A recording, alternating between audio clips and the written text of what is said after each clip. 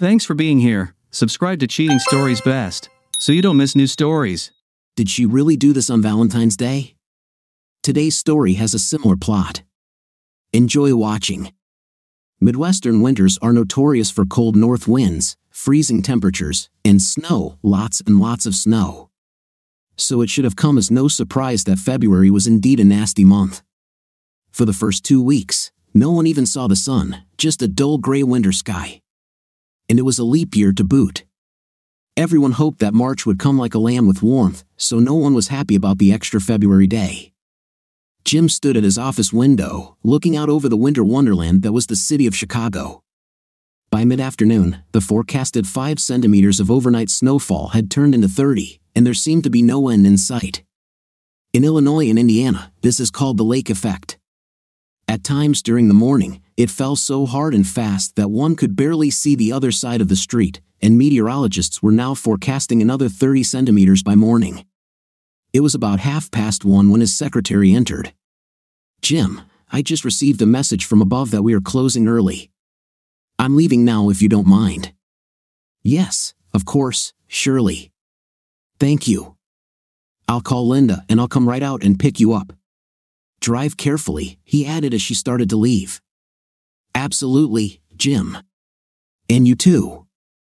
I doubt this will all be cleaned up by tomorrow, so I'll probably see you on Monday, she replied as she walked out. He walked over to his sports jacket, which was hanging over the back of his chair, and took his phone out of the side pocket. His wife answered after the second ring. Hey, honey. Are you still at work? she asked immediately. Yes, but I'm about to leave. I wanted to call and see if you wanted me to pick you and the kids up on the way home. I know you don't like driving and crap like this. You're very nice, honey, but you're a little late. They released us from the office more than an hour ago. I took the children and just entered the house. Please drive carefully, the roads are terrible. It will be done, dear. I'll see you as soon as I can. Love you. Bye. Knowing that Linda and the kids were home safe and sound took a big weight off his mind. However, he felt bad. It was the 14th of February, Valentine's Day. Every year he and Linda celebrated this holiday in style. Of course, he always came home with the obligatory card and flowers, followed by a romantic candlelit dinner in a lovely restaurant, a few cheek-to-cheek dances, culminating in a night of passionate fun while Linda's mom and dad watched the kids for the night. Well, a fancy dinner and dancing were out of the question by evening. No one was going anywhere. But he thought about the florist. By the time he brushed the snow off his car, he decided to give it a try. It was only four or five blocks from his road. Two weeks before, he had ordered a beautiful bouquet and absolutely did not want to show up at home empty handed. Thank God you're still open, he said, greeting the man behind the counter. Yes, I'm going to stay open as long as I can. I imagine many men will leave early and stop here to pick up their orders on the way home. Well, your instincts are correct. That's why I'm here. Jim told him his last name, and a minute later, the florist pulled out a beautiful bouquet of red, yellow, and white roses from the refrigerator. Damn, that looks great, Jim told him. What are those purple flowers? Sweet peas, he answered. I added a few to highlight it. Do you like it? This is absolutely amazing, Jim replied. He took the pen and signed the card, inserting his debit card into the machine. It was almost five o'clock when Jim arrived at his house. He had lost time on the way to the flower shop, but it was worth it. Jim knew how disappointed his wife would be that she would have to stay home on their special evening, and he hoped the flowers would lift her spirits. All he had to do was look into the two angelic faces of his children to feel uplifted himself. Daddy's home, six year old Emma cried, along with their four year old little brother Tommy. They jumped off the couch and ran to their proud father as soon as he walked through the door. Jim knelt down and placed the flowers behind him so they wouldn't get crushed before opening his arms for an onslaught of hugs and kisses. He looked up to see his beautiful, smiling wife watching the happy reunion. Finally, I was starting to worry, she said. Well, you were right. The roads are terrible. I'm afraid we won't be going anywhere tonight, darling. Oh, I see, she admitted with a pang of sadness. I already called mom and dad to tell them that we won't be dropping off the children with them. I didn't have anything defrosted, so the kids talked me into making homemade pizza for tonight. I hope this is okay. Sounds great, he replied. He waited until Linda turned to go back to the kitchen before taking the flowers and hiding them behind his back. Both Emma and Tommy returned to the couch in their TV show. Linda knew he was creeping up behind her but smiled silently, wondering what he was up to. She felt his left arm slide around her waist, then his lips kiss her neck. Suddenly, a beautiful bouquet of mixed roses appeared in front of her, along with the words, Happy Valentine's Day, dear. Oh, Jim, they are great, she said. She turned around, hugged him around the neck, and gave her caring husband a strong, passionate kiss. She grinned as she felt him become aroused. That will have to wait, she said, patting his trousers with the back of her hand. She took the flowers and placed them on the table, then took a card from the envelope. Oh, darling, what have I done to deserve you? she said before giving him another quick kiss. Well, it wasn't the romantic evening they had planned, but seeing the excitement when the kids realized they were going to have a four day weekend with mom and dad made it a little easier to accept. Emma and Tommy already had plans for a few snowmen, a couple of snow forts, and a long snowball fight, all of which started early the next morning. It was just after 9 o'clock when Linda and Jim tucked their two excited offspring under the covers for the night. There was still a lot of time left until evening, and Jim was determined to make the best of it. Darling, I'm so sorry that our plans didn't work out. I know the bad weather has been getting on our nerves lately, and I know how much you've been looking forward to tonight. You mean, why did you order all this snow? She grinned. Honey, there will be other evenings when we can go out for dinner. We'll have our own Valentine's Day when the weather improves.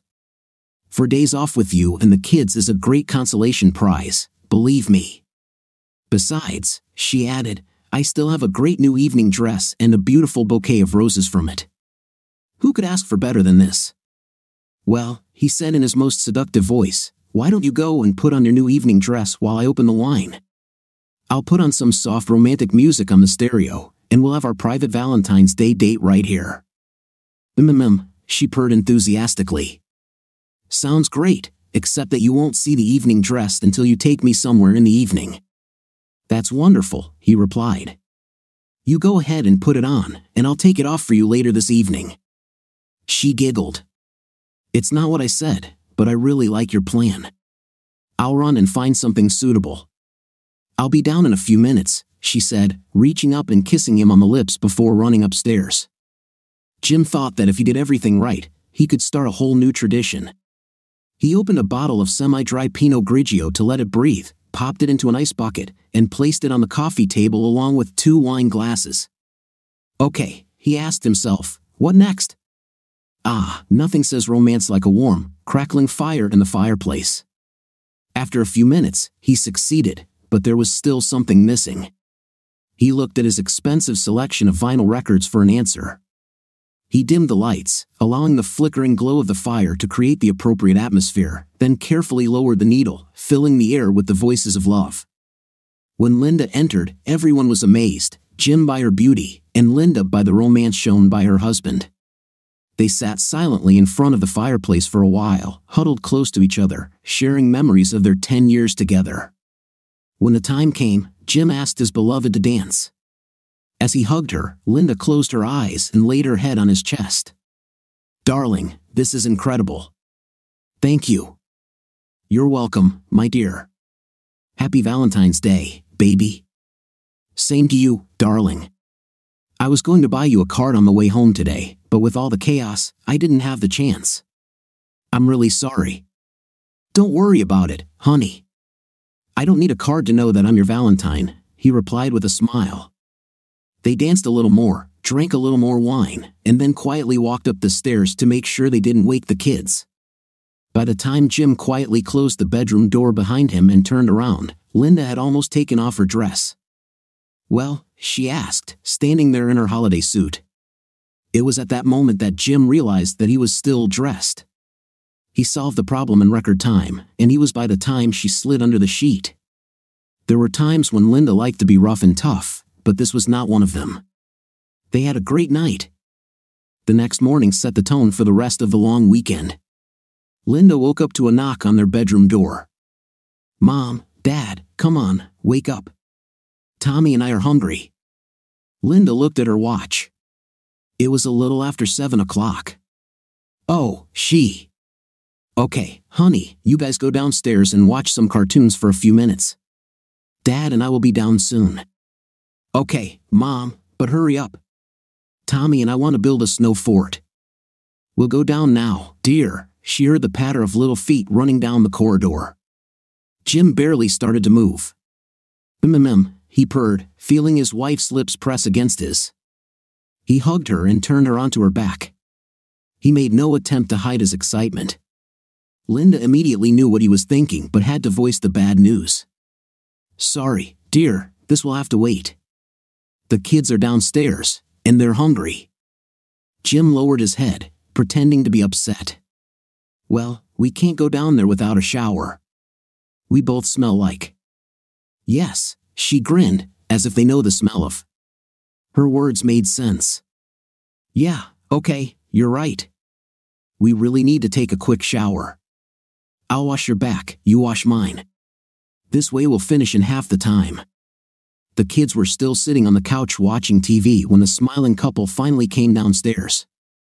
The children didn't seem to notice the time delay, they were both engrossed in their cartoons. What do you guys want for breakfast? Linda asked. Pancakes, the two kids shouted in unison. After a nice hearty breakfast, the four of them went to the backyard to build the best snowman ever, according to Tommy and Emma. Of course, everyone knows that no snowman is safe unless he has a snow fort to protect him. To say it was an all day affair would be an understatement. By the time Jim and Linda were ready to go to bed, they were too tired to even think about. Linda curled up next to her husband when she heard him chuckle. What? she asked. I just happen to think that today is only Friday. We also have Saturday and Sunday. I'm not sure I can handle this, she joked, before placing her hand on his chest. Five minutes later, they were both fast asleep. Saturday morning cartoons gave them a short reprieve and delayed adding to yesterday's snow fort, but only for a while. Of course, if you have an award winning snow fort, you must defend it from invading forces.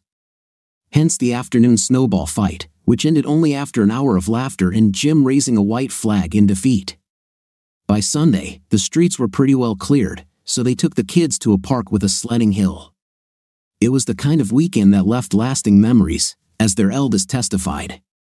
As they put her to bed, Emma reached over and wrapped her arms around both her parents' necks. Thanks for playing with us this weekend. I will never forget this. I love you, Mom and Dad. We love you too, they both told her. Now, said Linda, go to bed. You have to go to school tomorrow. By the time they went to bed, both Jim and Linda were ready to get back to work, they needed to rest. With temperatures too cold to melt anything, the days dragged on with mountains of powdery snow everywhere, serving as a visual reminder of the ruined holiday. As if anyone needed it. Like most others, Jim, Linda, and the children spent most of their free time indoors.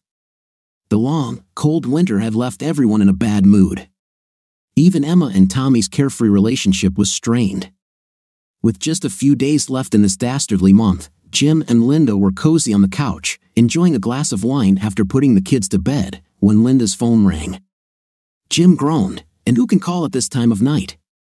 Linda extended her hand and looked at the screen. It's Dee, she answered with a slight laugh. I'd better answer. It may be important. Dee and her husband Dave were part of the close circle of friends they had developed over the years. Counting Jim and Linda, there were five couples in total, but they were closer to Dee and Dave than the others. They were all about the same age and financial status, had many common interests, and had children of varying ages who largely got along with each other. It was always a good time when they all got together, which usually happened several times a year. To avoid disturbing her husband too much, Linda took the phone into the kitchen to talk, but Jim could still hear the end of his wife's conversation. Oh, Dee, that's a great idea. Where? Oh, that's great. Yes, I think so. Oh, I'm sure. Oh, that would be great. Of course. Yes, that sounds like fun. Oh, he'll love it. Oh, I'm sure he'll be as excited as I am. Yeah, that was so shitty. Yeah, I'll talk to him right now, but if I don't call and tell you otherwise, count on us. Okay, yes. Bye. Linda's feet barely touched the floor as she slid back into the living room. She looked like the cat that ate the canary as she plopped down on her husband's lap and wrapped her arms around his neck. Based on what he heard, Jim decided that he would probably like whatever she had to say, but he had to be a little skeptical to get her to tell his fortune. Okay, so what have you gotten us into? he said with a smile. You will like what I learned, she answered. Dee has a great idea, leap year. A night of dinner, dancing, and. But won't Dave be mad if I have with Dee? Jim teased, earning a playful punch to his shoulder. The part is with me, dumbass. Remember that, she joked back. Leap year is the week starting this Friday. Dave had heard all about the dance club downtown from a couple of colleagues. It's called Downbeat. They have live music on Friday and Saturday evenings. They usually charge $10 per person, but they have an arrangement with the Madison Hotel. If you are a guest at the hotel, you simply show your door key card, and the dance club opens the doors. Dee thinks we can all get a room at the Madison and then have dinner in the restaurant before going to the club. After enjoying the fantastic world of the dance club for a couple of hours, we will all return to the hotel for a night of decadent pleasures. You don't even have to worry about driving, the dance club is just a block away. We can all walk there and back. What about the children? We'll need to see if your parents can host them for the night. Already taken care of, Linda quickly answered. Phil and Jane asked Mrs. Porter to take their children for the night, and they say she doesn't mind taking Emma and Tommy with her. Jim looked like he was thinking. What is there to think about? Linda wondered. Well, okay, on one condition, he replied. Which one? You will wear the dress you bought for Valentine's Day. You mean the one you haven't seen yet? She grinned. Exactly. It's nice, she agreed, sealing it with a kiss. The next day, Dee called again to tell Linda that everything was settled. She had confirmation from all five couples, so she booked a party of 10 for dinner at 7:30 in the Madison Hotel dining room. It was more difficult for her to reserve such a large table at Downbeat, but in the end, she got them to agree, although they would have to move a couple of tables together to accommodate such a large group. They promised that everything would be ready by 9 o'clock. The only thing I didn't do, Dee said, was book the rooms. I figured everyone has their own preferences, so I left it up to everyone else. But I wouldn't wait, Linda. When I made the reservation, it occurred to me that we weren't the only ones planning to go out that night and wanting a key card to avoid paying $20 to get into the club. Okay, Linda grinned. I'll ask Jim to order the room as soon as he gets home. We're really looking forward to it, Dee. You are just a genius for coming up with everything. The two good friends talked for a while longer before hanging up.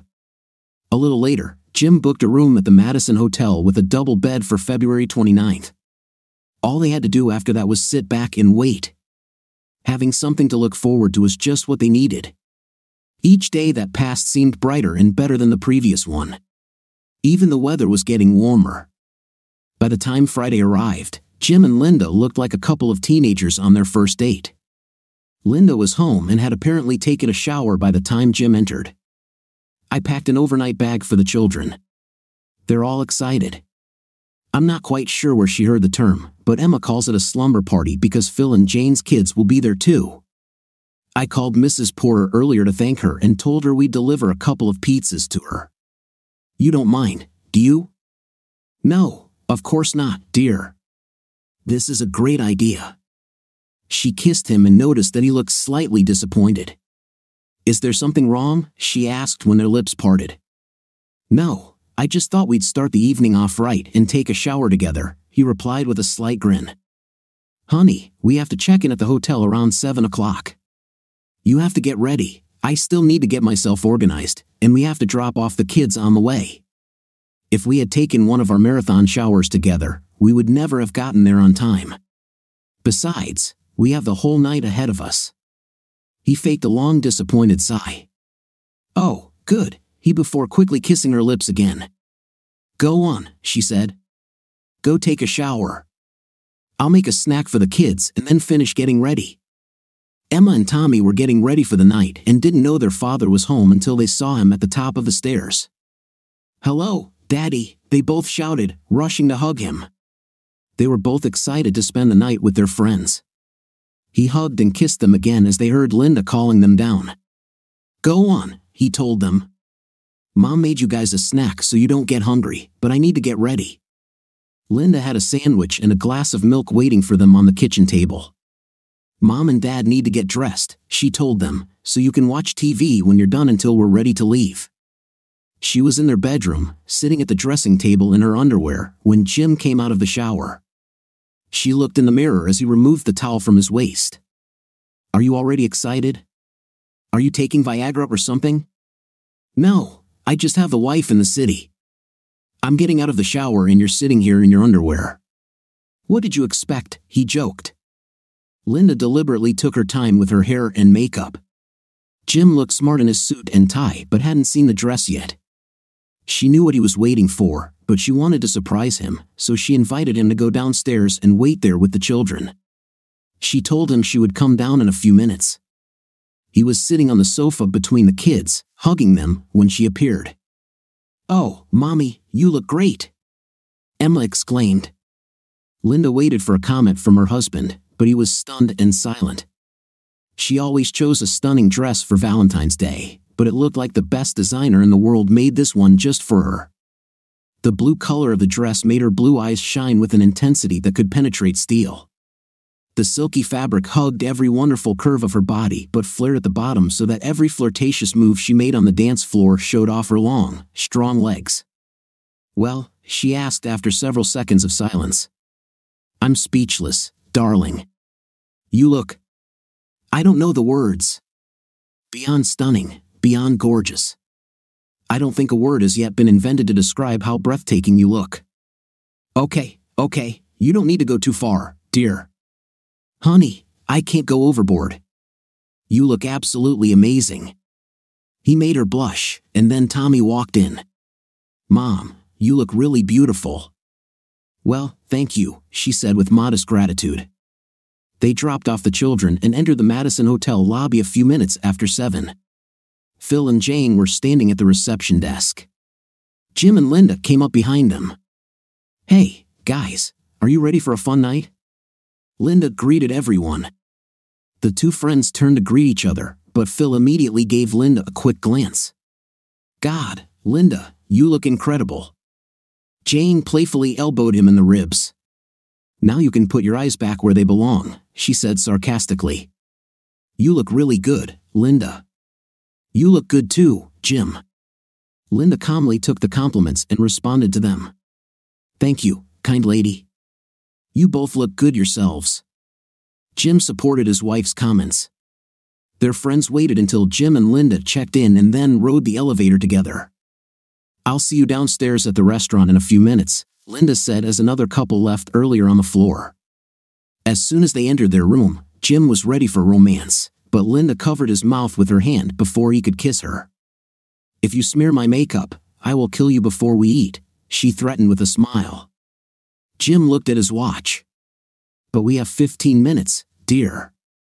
Time for a quickie, he joked. No quick ones for you, my love. I want you all night long. Linda received even more compliments from the entire table when they met the others for dinner. Dee kissed her on both cheeks with their kisses as usual. When they all got together, the conversation became lively, and there were a lot of jokes. From appetizers to dessert, everyone was still laughing and having a good time as they walked into the club. They all handed in their coats and were shown to their table. Linda and Jim held hands the entire way. A pretty waitress in a skimpy outfit came over to take their drink orders. Everyone waited to be served before hitting the dance floor. When the drinks arrived, Linda took a sip of her strawberry daiquiri, then grabbed Jim's hand. Come on, honey, let's show them how it's done. The rest of the table stood up and followed them to join in the fun. The band wasn't what anyone would call well known, but they had a great repertoire of songs and mixed them up well. Linda and Jim were among the last to return to their table to rest. Linda was a better dancer than Jim, but he could still show off.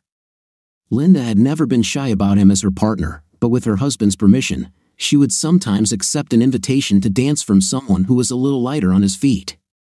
So Jim was surprised when she declined the request of Dave, the best dancer in their group. Thanks, Dave, but my dance card with Jim is completely full tonight, she said. The conversation flowed again as everyone was enjoying a brief rest when Dee noticed excited murmurs from nearby tables. She instinctively looked towards the entrance. Oh my god, she said loud enough for the entire table to hear. This is Mark Lavalier. Everyone in town knew who Mark Lavalier was, even the women who didn't follow football, including Linda. He was a star on the city's NFL team. Unlike some other team members, he remained in Chicago year round. He was the kind of man who was the envy of all the other guys in the place. He was tall, handsome, well built, had a lot of money, and judging by the way the women at the table fawned over him, he was a ladies' man. In addition to all this, he had a reputation as a genuinely nice guy and was as well known for his public good deeds and generosity as he was for his exploits on the field. He walked in with two other guys from the team and was immediately ushered to a table not far from their group. Of course, he immediately became the main topic of conversation. Men spoke of his remarkable exploits on the field while women praised his generosity, good nature, and bulging muscles. After a few minutes, Dee reached out and placed her hand on Linda's arm to get her attention. Listen, she muttered excitedly as Mr. Football stood up. I think he's going to ask someone to dance. Of course, all eyes were on him as he walked across the room and approached a very pretty 30 something blonde. Jim didn't like what he saw. The woman wasn't alone. Whether it was her husband or just a dating partner, he didn't know and it didn't really matter. He always considered it bad form to ask a lady to dance without first asking permission from the man she was with. Of course, he couldn't hear what was said, but Lavalier seemed to be completely ignoring her escort. His train of thought was interrupted by his wife's comment. God, for a big man, he actually moves well. You're absolutely right, Dee agreed. The men resumed their conversation while the women at the table kept their eyes on the dancing couple. They danced through the entire song, but the woman seemed to break away and return to her table before the second song was over. Lavalier returned to his seat, glancing in their direction before sitting down. Luckily for Jim, the conversation at the table had moved away from Mr. Football and, as usual, focused on more fun things. Jim was about to ask Linda if she was ready for round two when he noticed his friends on the other side of the table looking up. Before he could turn around and see what they were looking at, he heard a voice over his shoulder. I'm Mark Lavalier. Can I invite you to this dance? He extended his hand to Linda. Dee saw the anger on Jim's face and knew he was going to say something. Jim, she whispered loud enough for him and several others to hear, please don't. It's just a dance. Don't ruin it for her. By that time, Linda had taken Lavalier's hand and had already gotten up from her seat. Jim, accepting Dee's plea, said nothing, but his anger was obvious to everyone present. Well, that's all her. I save all my dancing for my husband, Dave grinned at Jim. Ouch, he said as Dee kicked him under the table. Paul was the next one to make fun of his friend. Don't tell me you're jealous, Jim, he said with a laugh. Jim's response made it clear that he didn't think it was a laughing matter. I'm not jealous, I'm angry. I don't mind them dancing. What I mean is the complete disrespect I just received from him and also from my wife. This arrogant jerk completely ignored me as if I wasn't even there. It's an insult. But I think I'm more angry at Linda. She knows how I feel about it and always asks permission to dance with someone we don't know. It just shows that a wife loves and respects her husband, and I have never refused her. This time, she ignored me just like he did. Jim, this is Mark Lavalier, Jane said, adding her two cents. I don't care who it is, he objected. You do not approach a woman, completely ignore her companion, and then invite her to dance. This is extremely impolite. He did the same when he asked the other woman to dance. Everyone at the table thought it was probably best to leave things as they were. One of the other friends decided that now would be a good time to talk about the new car he wanted to buy. Jim didn't want to ruin the evening he had planned with Linda, so he tried to forget about the incident and join the conversation, but he still kept one eye on his wife. The band was playing a slow song. Based on their earlier repertoire, Jim decided that the second song would be faster, and his wife would likely join them. Unfortunately, he didn't know that Lavalier had spoken to the band and asked them to play several slow songs in a row. Jim's anger intensified when he saw his wife melt into the arms of the football star during the second dance. This is disrespect for your husband, he thought to himself. When this continued for the third time, Jim had had enough. I'm going to end this right now, he said angrily, standing up. Dee grabbed his hand. Jim, please, think about how grateful she will be to you later in the evening. Please, let her enjoy the moment. Yeah, come on, man, Dave and Paul said at the same time. They're not harming anyone. Here they are, we can all see them. Jim looked at his wife with a sigh and, against his better judgment, sat down again. He tried his best to join in the conversation, but he was having a hard time. He gave a grateful sigh of relief when the band announced they were taking a 15 minute break. He saw his wife return to the table after dancing three slow songs with Lavalier. He watched her face as she approached. She didn't smile as everyone might have thought. Instead, she had a look of worry and guilt on her face. Jim could see that she knew what she had done was wrong and decided he wouldn't make a fuss. He really didn't want to ruin the rest of the evening. Before taking her seat, Linda told everyone at the table that she needed to freshen up and asked Dee to join her in the ladies' room. Dee could barely contain herself until the toilet door closed behind them. Well, she asked with excitement. How did it go? Were you able to feel his excitement when he danced with you? Oh, yes, Linda replied. Did he seem big? I don't think he's bigger than any other guy. I don't know, I really can't say. While Dee was thinking this over, Linda took advantage of the lull. He wants me to spend the night with him. Dee was still thinking about the size of Lavalier's and did not fully understand what her friend had said. What? Who? Mark? Who else do you think? You mean he wants you to go home with him and spend the night with him? Exactly, Linda confirmed. Dee, I don't know what to do. I've never cheated on Jim before, but this is Mark Lavalier. I will never have this opportunity again. Did Jim say anything when we were dancing? Oh, yes, he's angry, Dee replied. First of all, he was angry that Mark ignored him when asking you to dance. He's also angry at you for not asking his permission before agreeing, Dee said. Yes, I thought about it when we went to the dance floor, but by then it was too late, Linda replied. Dee thought about it and was ready to offer advice. Honey, Jim's already pissed off. Any romantic plans you guys have for tonight are probably going to fall apart anyway. I'd go for it. Do you really think so? Hell yes. As you said, how many opportunities like this do you get in a lifetime? What about Jim? I'll sort everything out with him. Don't worry, I'll make him understand. Dee watched as the wheels started turning in Linda's head. Finally, she made a decision. I'm going to do it, she exclaimed. God help me, I just can't refuse. How are you going to get out of here? You know that if Jim sees you leaving, he will confront you. He might even be stupid enough to try to fight Mark. Mark says he has an emergency exit from here. He gave me his number and told me to text him from the ladies' room if I decided to go. He'll meet me in the hall and Jim will never see us leave. Then text him by all means, before Jim wonders why we are taking so long and comes here looking for us. Jim was so engrossed in watching Linda and Lavalier that he didn't realize how badly he needed to go to the toilet. He thought about waiting for Dee and his wife to return, but he didn't know how long they'd be there and saw no benefit in waiting. So, he stood up and apologized. Unlike the ladies' room, which was located just off the dance floor, the men's room was in the bar area. When he returned, he saw Dee sitting next to Dave, but Linda's chair was empty. The group hadn't returned yet, so he knew she wasn't dancing. Where's Linda? Don't worry, Jim. She's fine. She just needed something to do, Dee responded. Jim wondered what the hell was going on. Everyone looked at him with strange expressions on their faces. The only thing he could think about was that Linda had some kind of surprise for him to make up for her previous actions. He sat down and tried to relax, but the mood at the table had changed. Everyone was quieter and more subdued. As the minutes passed, he became more and more anxious. What's going on, Dee? Where is Linda? Jim, I told you she's fine.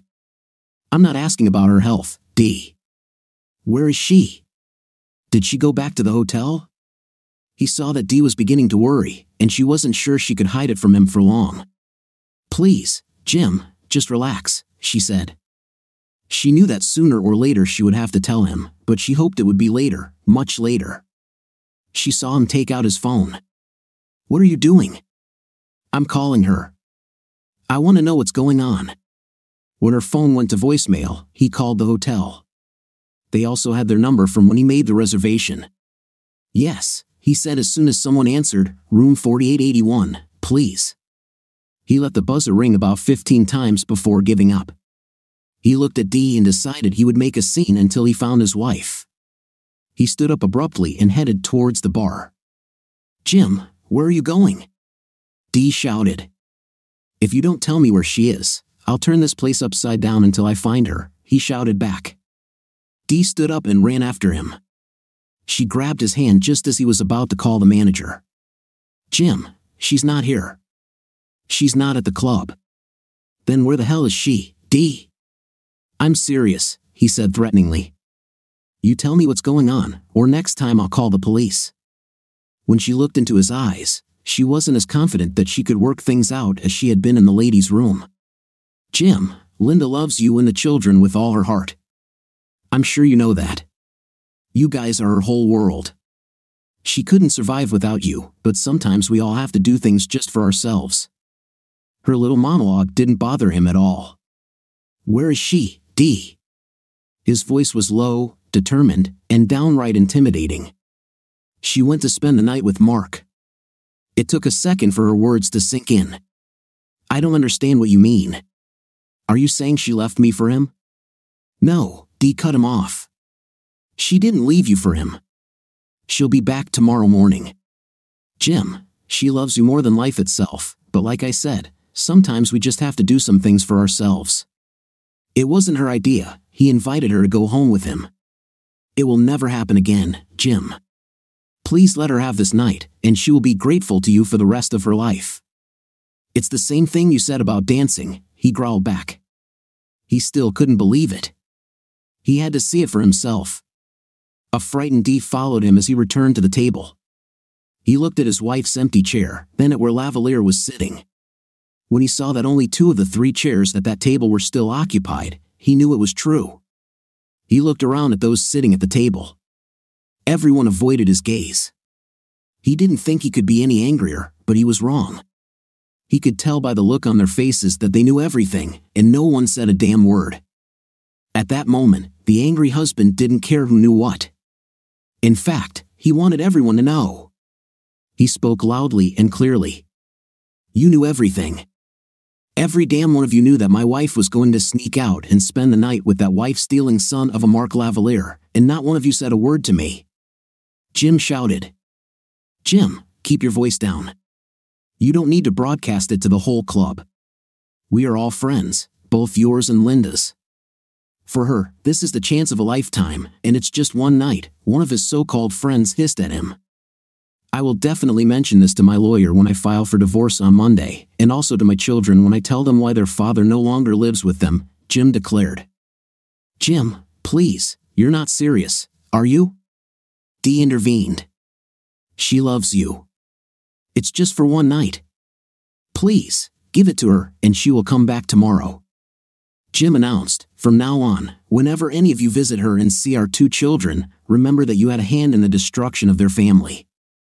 Just at that moment, the two guys sitting with Lavalier stood up and seemed to be heading towards him. Oh, look at this. Here come Lavalier's two thugs, he said loud enough for everyone to hear. What are you guys going to do? Take me to the parking lot and work on me. Your boss stole my wife, destroyed my family, and now you guys are going to beat the crap out of me, right? No, wait, I have an idea. Dave, Paul, why don't you two send your wives home with these guys? They are both professional football players. They may not be Mark Lavalier, but they are on the same team.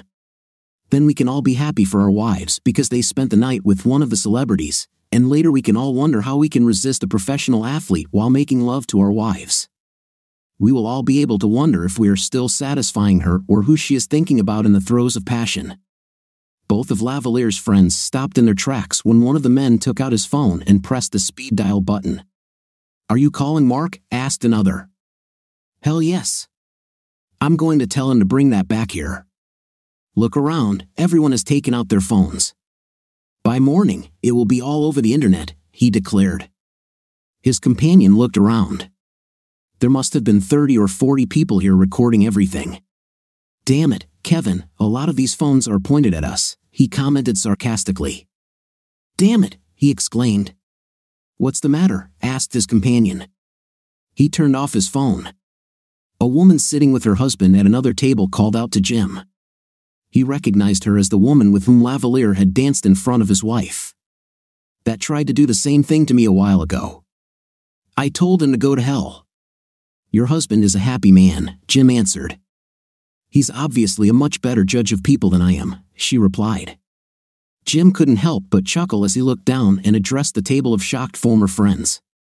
When you see Linda, be sure to tell her that she gave up her marriage for one night with this idiot and was not even his first choice.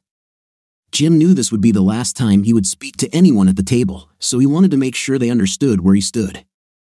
I thought you were our friends. Obviously, I was as wrong about you as I was about my wife. Next time any of you men see me, you should start looking for a way out. I won't look for you, but if we ever end up in the same room, I'll start beating you up.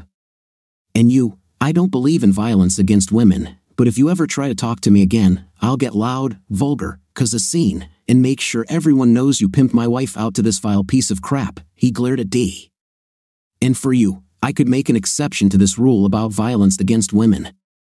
Dee took out her phone and desperately tried to dial Linda's number, but it went straight to voicemail.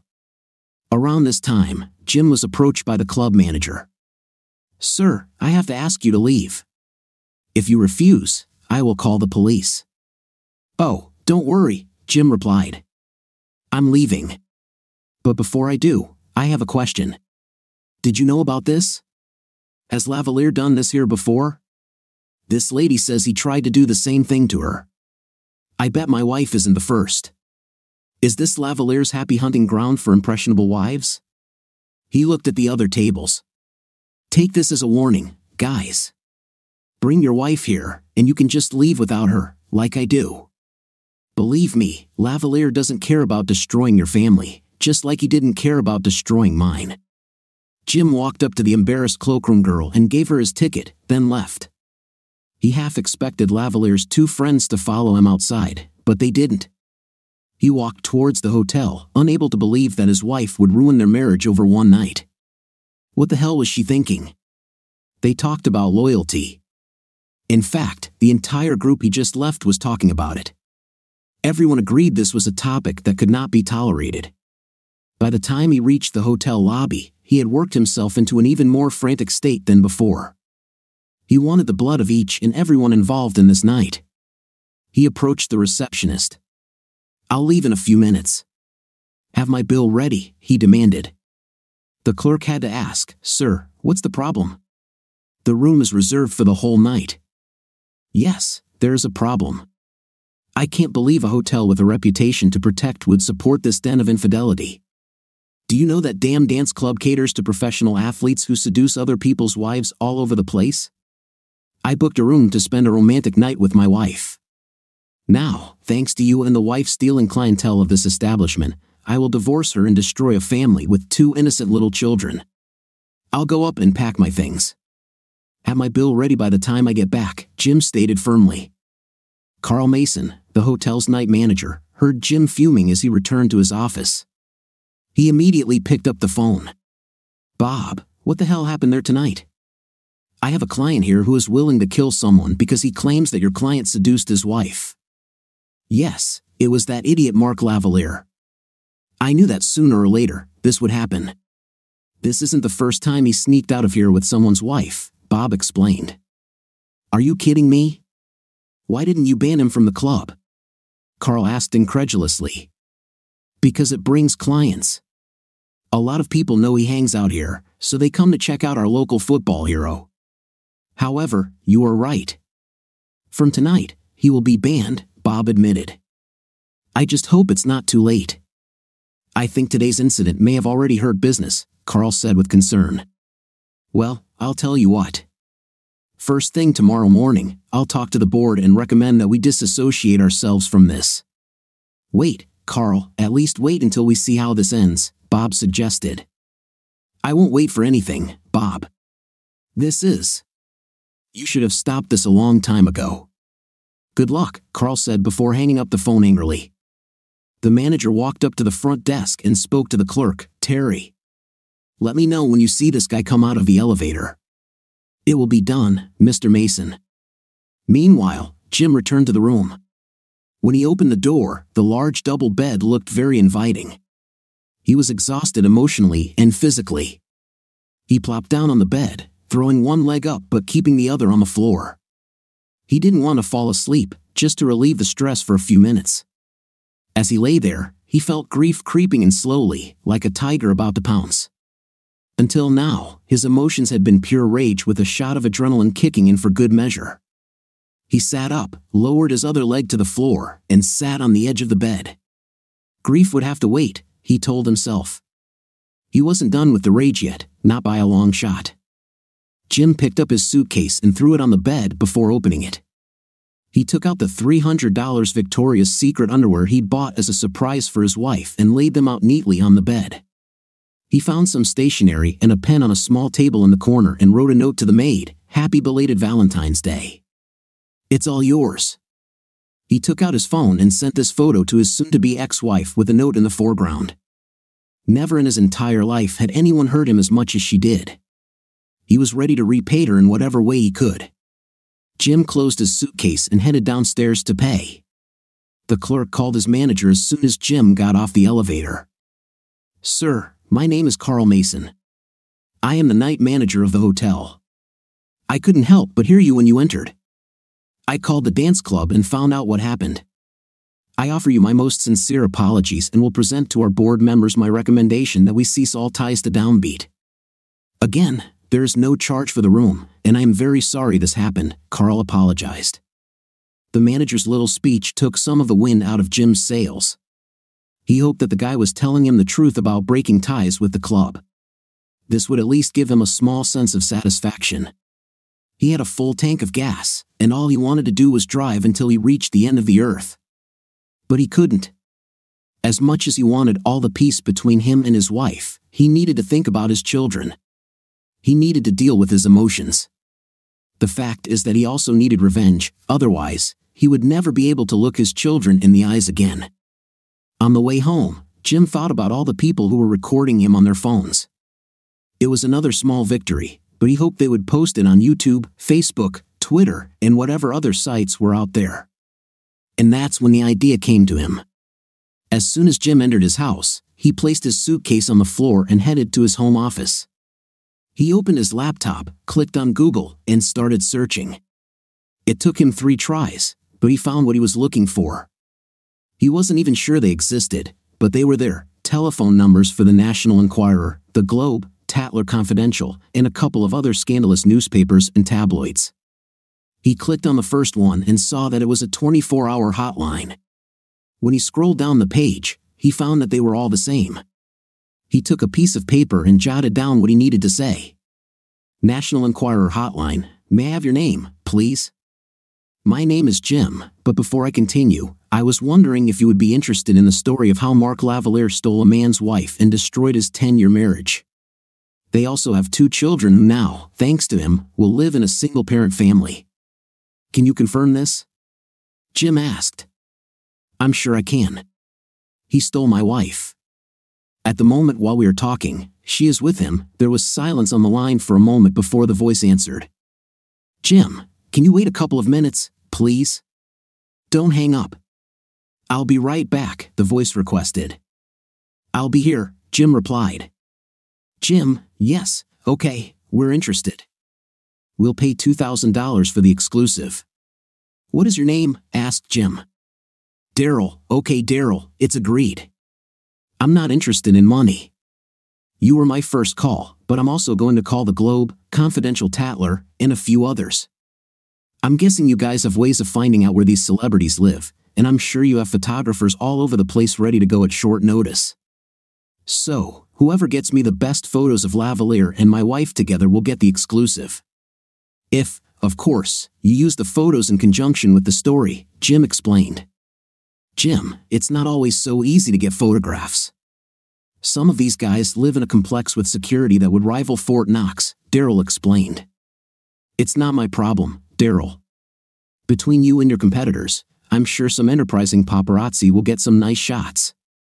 This idiot has fooled everyone with his white and fluffy image. It's time people saw him for who he really is, Jim stated firmly. Fine, he heard Daryl sigh. I'll see what we can do. Where should I send photos? After giving Daryl his email address, Jim made the same call to other scandalous newspapers. Four of them said they were interested in the story and accepted his challenge for photographs. After that, he began to load the car. He took his computer and charger, a lot of clothes, and shaving supplies. Having finished with the bare necessities, he looked around for more. She could have gotten the damn TV for the kid's sake, but the record player and all its albums went with it. I couldn't take my favorite chair into the car, so I reluctantly had to leave it behind, he muttered to himself. Finally, he went through the house and took photographs of the children but left everything else where she was. He took a family album from the shelf and did the same, pulling out photographs of the children from under their protective films. He quickly looked around again. When he was sure that he had taken everything he wanted, Jim took off his wedding ring and left it on the table along with a note I hope it was worth it. P.S. I called your parents and asked them to pick up the children. Linda was still in a state of euphoria when she opened her eyes on Saturday morning. The previous night had been everything she expected and more. She smiled and curled up in her lover's strong embrace, looking up through the skylight above the bed. For the first time in a month, it was sunny outside. There was even some crazy bird flying there. This must be an omen, she thought. Her thoughts went back to last night when the moon shone through the glass. Either way, it was a night she would remember for the rest of her life. Only after this personal confession did she think about her husband. She began to wonder what kind of reception would await her when she returned. How successful was Dee in getting things done? She was starting to feel guilty, not to mention scared. She looked into the rugged, handsome face of her lover and saw his eyes open. Well, you said you'd give me the night of my life, and you weren't kidding. Thank you, he smiled at her. Silently, she replied, I don't have anything today. Stay for a while. I would like to, Mark, but I need to go back to the hotel. It's still quite early, and I hope I can sneak back to the room before Jim wakes up. We haven't swum yet, she said. I don't go anywhere or do anything before swimming. Do you have an indoor pool? She didn't remember seeing anything like that when he was showing her around last night. Almost, he answered. This is an outdoor pool, but I closed it and heated it in winter. Suddenly, she forgot about Jim again. But I didn't take a swimsuit with me, she said. Lavalier's smile widened. We have more than a hectare of property around us. My closest neighbor is four miles away and can't see the back of my house. No swimwear required, my dear. She sat down and looked out the window. It's quite far from home, Mark. I hope you don't expect me to run out there. It's cold out there, I have a nice warm terry robe and a pair of slippers that you can wear. A few minutes later, Linda was silently thinking, this is just completely crazy. It was only about freezing, and she had to walk hand in hand with Mark Lavalier to go skinny dipping in his indoor pool. She was wearing nothing but a robe, and he was Falcon. Oh, if Dee could see her now, she said, trying to shield herself from the sun with her hand. What bird? I already saw her outside the window on the roof. She just keeps flying in circles. We have them everywhere here, he said, not paying attention. Once inside the pool enclosure, Mark helped her remove her robe and placed it on a chair before they both ran and jumped inside. Mark immediately started making circles. She tried to keep up, but it was impossible, so she swam to the side and was content to watch him glide through the water from one end of the pool to the other.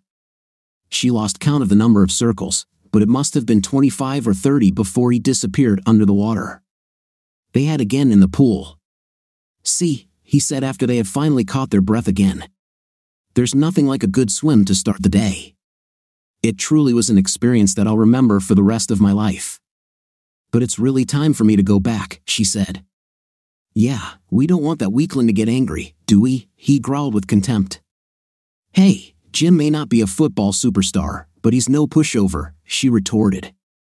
No, do you think he'll want to fight me for his woman's honor? The sudden sarcasm that came out of his mouth left her speechless. Yes, I thought so, he grinned, taking her silence as confirmation. This was a side of Mr. Football that she didn't see. There was real cruelty in his voice. Take me back, she said decisively. He chuckled at her obvious anger. They both got out of the pool at the same time. Lavalier grabbed the towel hanging on the back of the chair while Linda reached for a robe. Suddenly, there was a loud crack, and pain shot through her right buttock. She screamed and looked around as Lavalier twirled the towel in his hands. Did I tell you that I'm the champion towel catcher in our locker room? He said with an evil grin. It hurts, damn it, she cursed, rubbing her butt. She reached for her robe again when the second shot of the towel stung her on the other side of her. Mark, stop, it hurts, she shouted indignantly. The rage in her eyes only seemed to provoke him even more. He flicked her thigh again. If I were you, I would run away from home, he said with a laugh. I'm still wet. I'll get pneumonia if I go out there, she cried. He flicked her again, this time barely missing her left breast. She heard him laugh as she rushed to the door. He ran after her maniacally, grabbing a towel and yelling at her all the way into the house. She quickly tried to close the bedroom door behind her, but he was already there and pushed it through after her. His behavior completely changed. It was obvious that now that he had gotten what he wanted from her, he no longer needed her. Get dressed, he ordered her decisively. I'll drop you off at the hotel. Linda sat on the edge of the bed and reached for her panties, realizing that it was all an act. The poise, the sophistication, the good guy image, it was all just an act. In reality, he was just a childish bully. Now she regretted letting him touch her. As she began to dress, she noticed a red welt on her thigh where he had flicked her with the towel. She stood up and rummaged around behind her. Of course, she had another one there. Great, she thought, just what I needed, marks on my body to remind Jim of what I had done. What had recently been an experience she would never forget was completely shattered in that moment. Now all she wanted to do was forget the whole damn thing and get out of here. They both got dressed in silence and headed to the front door. The night before, Lavalier didn't even want to take the time to park in the garage and left his SUV in the driveway. They had not yet reached the end of the porch when he looked up and saw half a dozen photographers standing near his area. Everyone had telephoto lenses, and they were all pointed at the two of them. He immediately grabbed Linda's hand and began to pull her back. Hey, what are you doing? she shouted. Let me go. Go back to the house, he growled. They're taking pictures of us. Her eyes became as big as saucers when she saw all the cameras and followed Mr. Football back. What the hell is going on? Why are they taking pictures of us? she asked. I don't know, he answered. When he pulled out his phone, he realized he hadn't turned it back on yet. He pressed the button and waited impatiently for it to load. Linda did the same with hers. As soon as he could, Lavalier quickly dialed the number of one of his friends who was with him at the dance club. Kevin, what's going on? There are a lot of paparazzi outside my door. Even more, Kevin answered with a cynical laugh. I told you that one day you'll have problems with all this, as you call it, cuckolding nonsense. This woman's husband went crazy last night. Damn dude, you're an internet sensation. You are with her everywhere, on YouTube, Instagram, and who knows where else. Oh, yes, that would be very smart.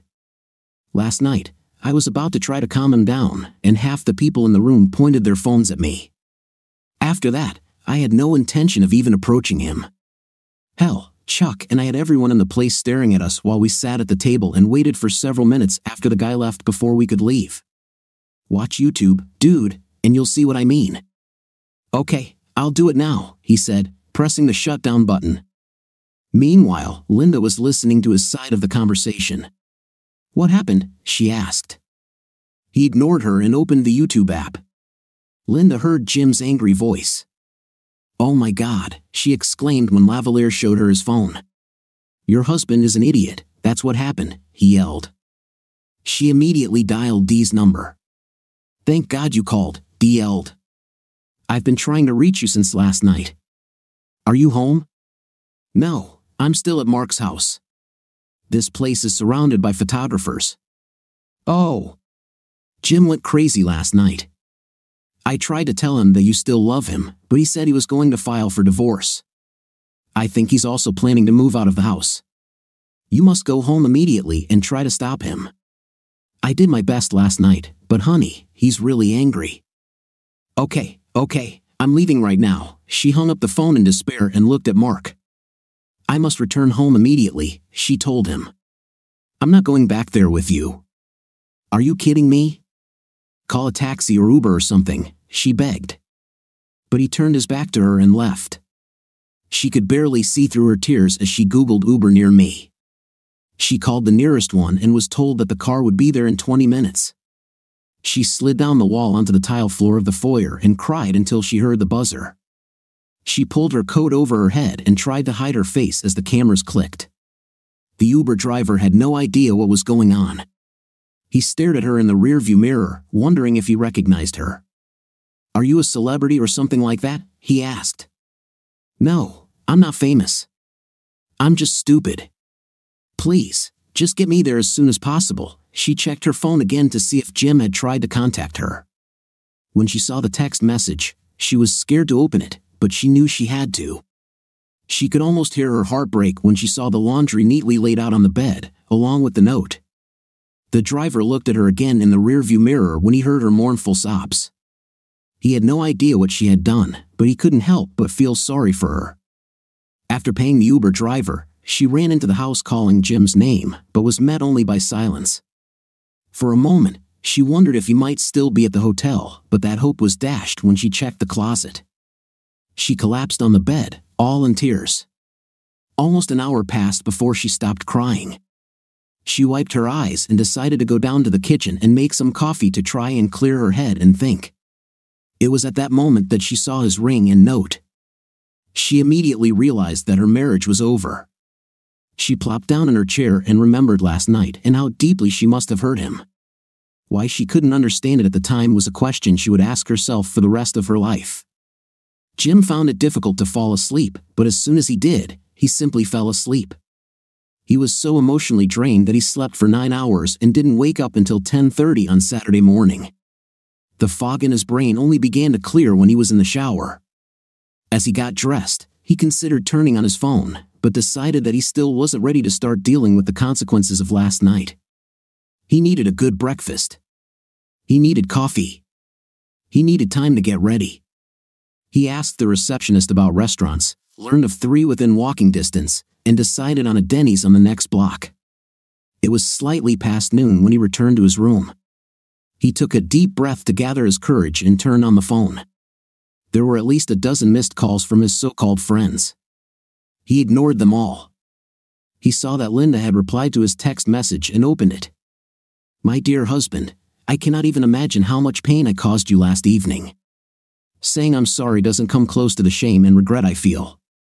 All I can do is ask for your forgiveness and beg you, if there's even a drop of love left in your heart for me, please give me a chance to somehow make amends to you, he wrote her a reply. You're right about the pain. Never in my life have I had someone who, declaring his love for me, would so openly thrust a dagger into my heart and twist it for greater persuasiveness. I'm sure my anger will eventually pass and I'll realize I still love you, but if we stayed together, I'd be on pins and needles waiting for the next time it would happen. I'm not going to live like this, Linda. I will meet with a lawyer as soon as possible and file for divorce. In the meantime, let's make this as fair as possible for the sake of the children. I want to come tomorrow so we can hopefully sit down together and calmly explain everything to them. After that, I will spend the rest of the day with them.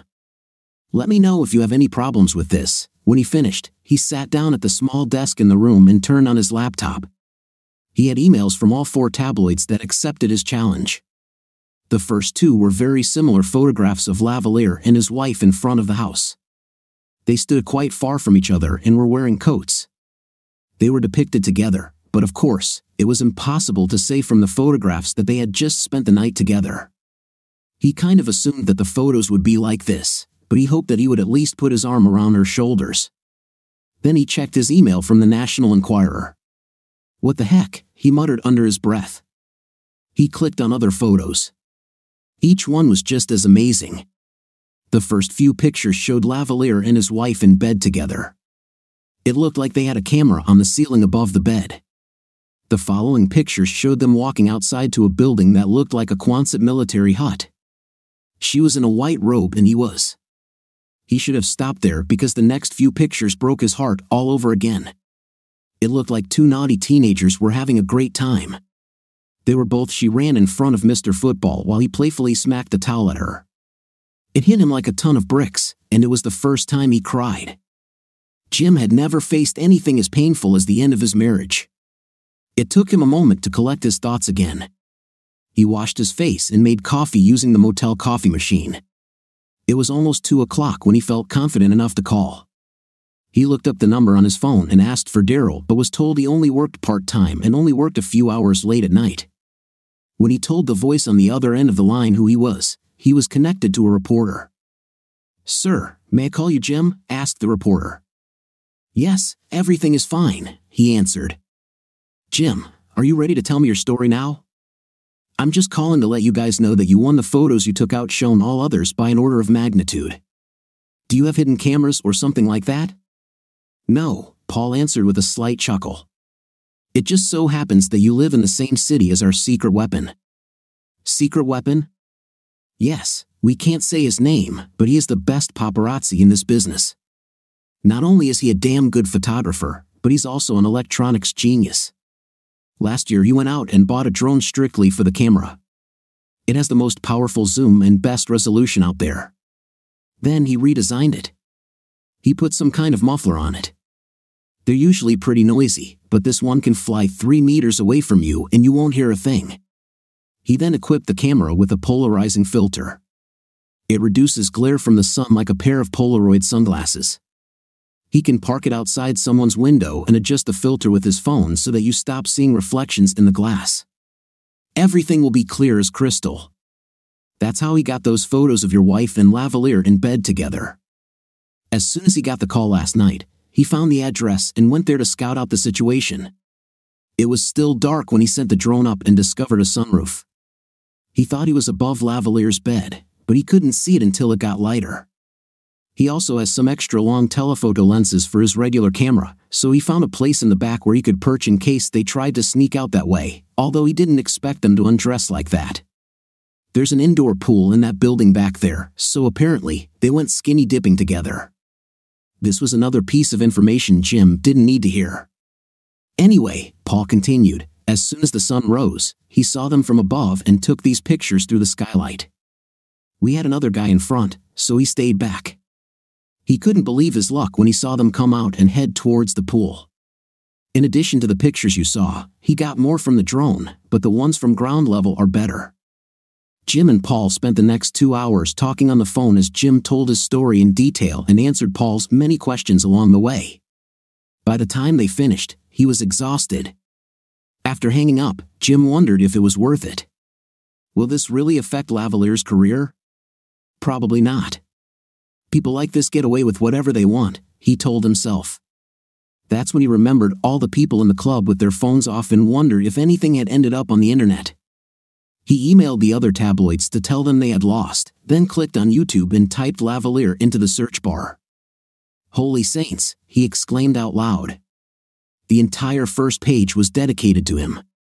He clicked on the first video and watched a replay of his pain and humiliation with misty eyes. He began to read the comments. There were more than 300 of them. A couple were derogatory remarks aimed at him, comments like he was a weakling, but the rest destroyed Lavalier and, to some extent, Linda. He watched a few more and became increasingly inspired as he read the comments from each of them. Hell, he thought, maybe I didn't even need the tabloid story. His thoughts were interrupted by the buzzing of his phone with a text message. It was from his former friend Dave. He didn't intend to open it, but curiosity got the better of him. Jim, Dee just got off the phone with Linda. She says you've gone crazy. Please don't do this. It was just one night. You shouldn't leave a 10 year marriage because of this. Please reconsider. Jim returned the message Last night I told you, don't call, don't write, don't contact me in any way. None of you warned me when you knew what Linda was going to do. Not even you, my so called buddy. If I could have gotten to her before she left, I most likely could have stopped her and possibly saved my marriage. Of course, we'll never know now, will we? Don't contact me anymore. I will never receive calls or texts from you, Dee, or anyone else who sat at this table last night. To me, you can all go to hell.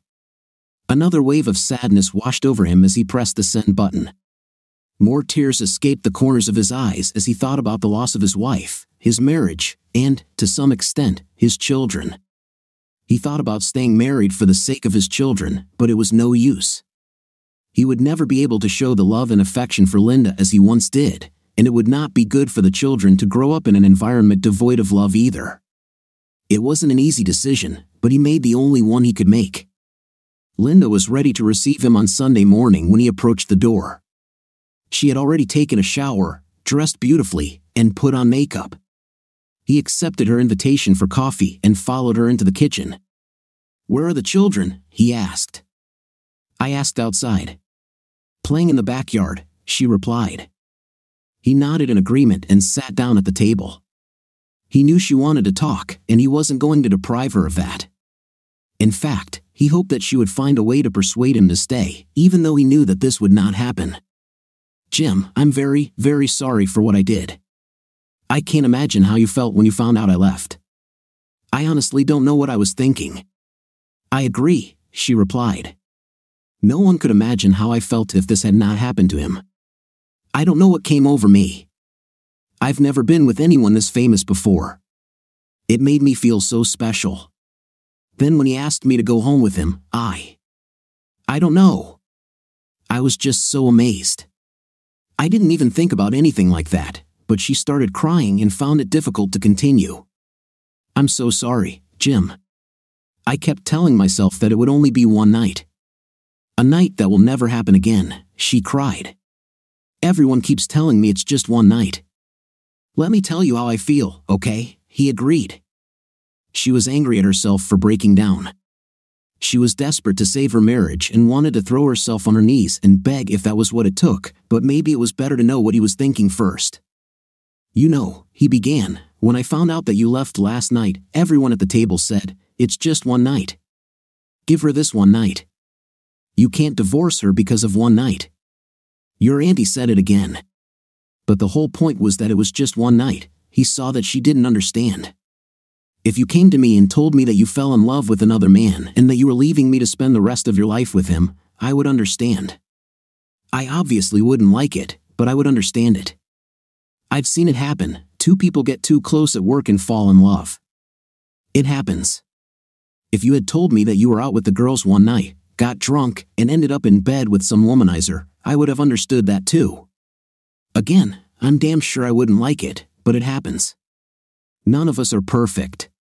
If you were in sales and traveled a lot, were alone on a long trip, and desperately needed company one night, I would understand. But this is where all this does not apply. You barely met him, so I know you weren't in love. You only had a few drinks, so you weren't drunk. And I was there, so you sure as hell weren't lonely. Damn, we had a wonderful romantic evening planned, and you threw it all away for one night, he said, emphasizing the last two words, drawing them out. You can't imagine how worthless I felt knowing that my wife cared so little about me that she deliberately drove a stake through my heart for one night of with another man. I didn't care who he was. Do you understand what I'm getting at? The fact that it was just one night makes it not better, but a thousand times worse. You threw it all away our marriage, our family life, our future, our children's future, for one night. You knew how I would feel. You knew how devastated I would be, and yet you completely ignored my feelings for one night with this guy. He became emotional and didn't want his children to see him like that. He calmed down and lowered the volume. Understand? Understand? Do you see what you've done? You didn't leave me for a lifetime of happiness with someone else. You left me for one night of with another man. Linda wiped a wave of tears from her eyes. She really understood. Until now, she had thought about it like everyone else, that it was just one night, that he would not give up the marriage because of one night. But now she realized that it was she who abandoned him for one night, not him. He was right, absolutely right, and there was no point in even trying to fight him about it. There were no counterarguments she could discuss, nothing she could say. Their marriage was over. She had to accept it. She asked for a few minutes to compose herself before talking to the children. When she was ready, they called the children. They, of course, attacked their father with questions about where he was. Linda was instrumental in helping explain that dad was looking to get a second home. Only the thought of spending the day with their father kept them from crying, but they made up for it that evening when he dropped them off.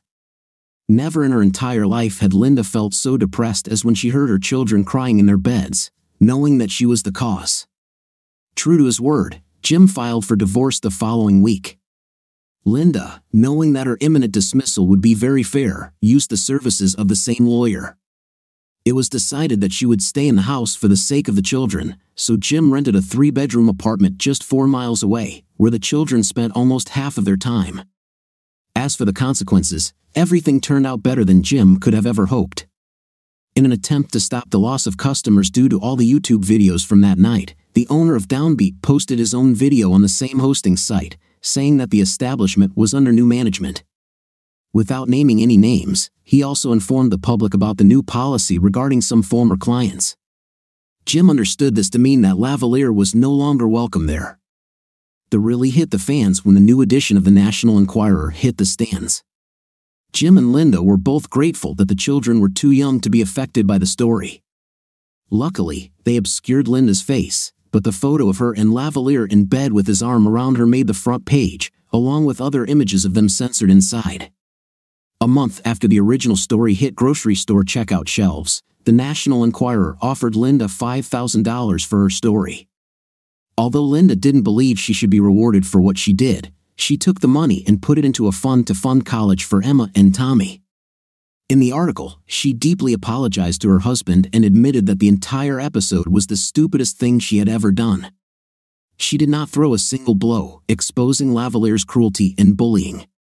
When Jim read her story about how that idiot hit her with a towel hard enough to cause welts, he remembered how wrong he was in thinking she was having a good time. This was the first time since this all started that he had sympathized with his soon to be ex wife. Lavalier was no longer the Prince of Chicago. He was despised almost everywhere he went. Even the other players avoided him when practice began later that year, and for the first time in his life, Lavalier was booed from the stands when he took the field during games. Two years after that night at Downbeat, he was traded to a smaller team. Linda waited a year to start dating but felt that finding a new man to share her life with was probably hopeless based on her 10 year history with Jim. Her expectations were too high. Eventually, she gave up the search and decided to dedicate her life to simply raising two wonderful children. Jim was a little luckier. After two disastrous short lived relationships, he found a woman with some potential, but he was in no hurry. Let it happen if it happened. In the meantime, he and Linda got along well, and the children adapted to their new living conditions. They even still continue to do things as a family from time to time. Life goes on. Subscribe to our channel so that your second half doesn't cheat on you, and go ahead and listen to the next story because this story is nothing compared to the next one. If you're under 18, don't even think about listening to the next one. What do you think of our story today? I think the story is exciting with an interesting plot. In this story, I was on my husband's side and completely justify his actions. What is your opinion? Write in the comments. Until new videos.